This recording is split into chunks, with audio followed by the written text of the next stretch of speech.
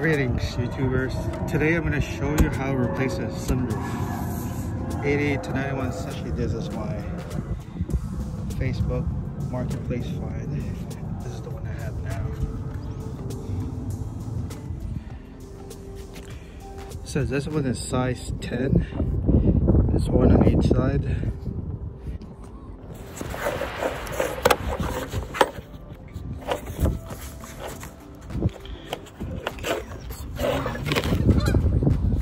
Okay, so two 8 millimeter knot came out, and one 10 millimeter over here comes out. So all you have to do is slide out this.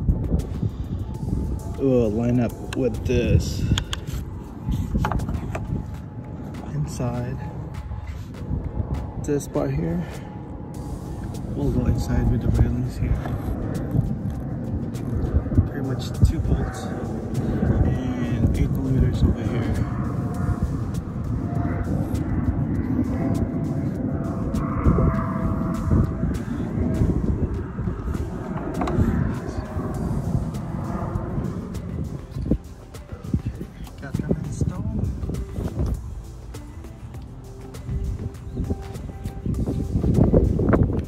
Thanks for watching. I'll see you again next time. Bye.